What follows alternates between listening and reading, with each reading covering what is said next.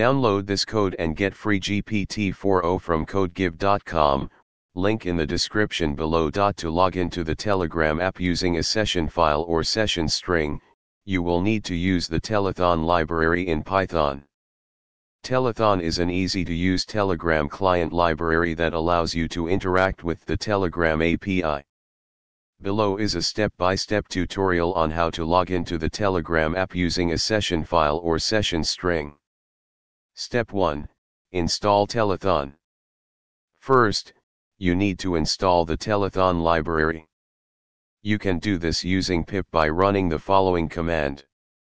Step 2, create a new Python script and import the required modules. Step 3, define the API ID, API hash, and session details.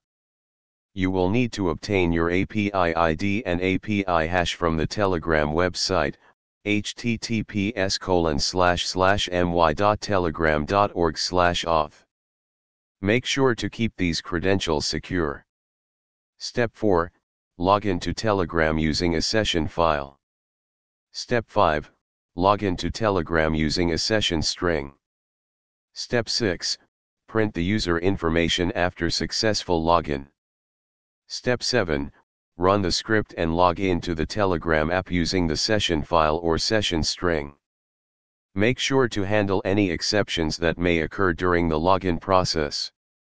That's it you have successfully logged into the Telegram app using a session file or session string. You can now interact with the Telegram API using the Telethon library in Python.